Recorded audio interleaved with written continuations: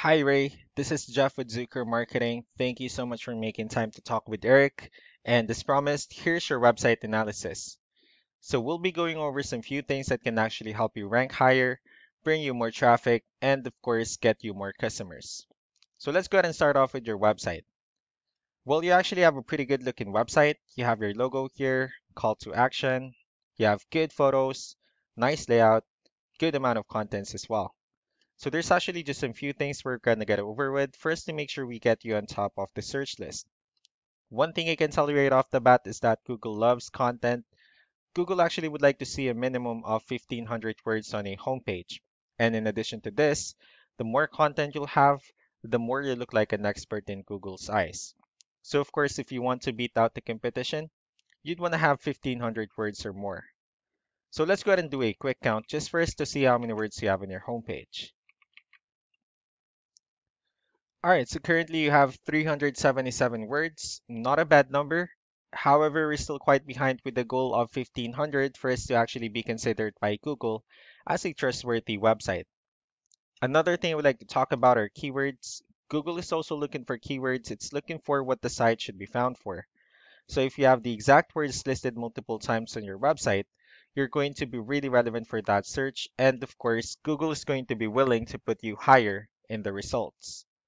So we actually did a quick search of the roofing companies in one of the areas you're servicing. We'll talk more about the results that we have here. Let's start off with the first one. So this is what we call the map pack. And this is something wherein you really would like to be on since these are the ones that gets a lot of attention, a lot of traffic, and are easier to find.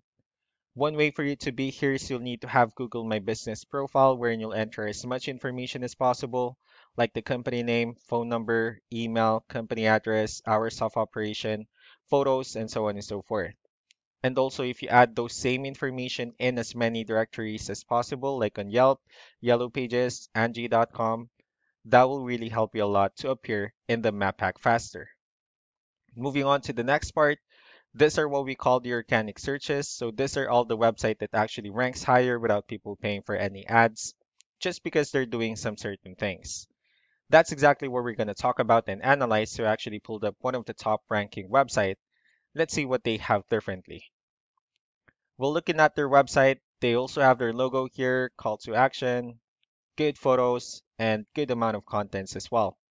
So let's go ahead and dig deeper with the numbers instead. We have here Ahrefs, one of the paid tools that we're using for us to have some more information on the backend of your website.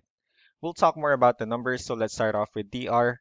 So this is the level of trust that Google has in your website, and UR is the strength of your website. Backlinks, on the other hand, these are other websites that refers to your website, so they're like shoutouts from different directories like Yellow Pages, Yelp, and alike. I also have your competitor's website pulled up here, so we'll be comparing the numbers, and we'll actually see what they have differently. Starting with DR and UR, it actually shows that they have more numbers, which simply means that Google actually finds their website a much more trustworthy website and also a stronger website. The reason for that is because they actually have more backlinks. They also have more keywords, which gave them more traffic. So with that being said, let's go ahead and talk more about backlinks and keywords, and let's discuss the importance of this too, especially in making your website stronger and better. Starting off with backlinks, so as you can see, these are all the directories they're currently listed on that actually brings them a lot of attention and a lot of traffic. That's why they're currently ranking higher in the searches. Next are the organic keywords. So these are all the keywords they have listed on their website. So when customers search for the specific words, their website will show on top of the list. And if you also look at the numbers under volume, these are all the hits or clicks that they're getting with the help of each keyword. So that's how important in choosing the right keyword is. That way, more customers will be able to find your website faster and easier. Another thing I would like to share about keywords is what we call the hidden keyword. So let's go ahead and use this photo as an example. So if we save this photo and instead of naming it with a generic file name with all this, you know, letters and numbers, you can actually rename it with a hidden keyword instead. You can do the same thing with the other photos you have on your website. That way you'll be able to have more hidden keywords added into it. Not only that, of course, for those keywords to not to be repetitive on your website as well.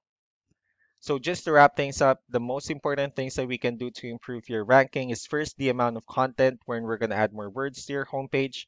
That way, Google will actually consider your website a much more trustworthy website and also a stronger website.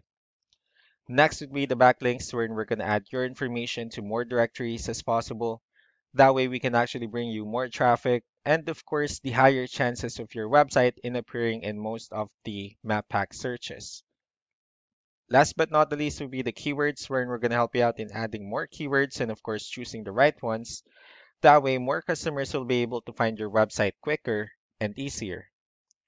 So that's all that I have for now. If you have any further questions, feel free to call us or email us back so that we can tell you the next steps and the other things that we can do. Thank you so much for your time. You all have a wonderful day. Bye.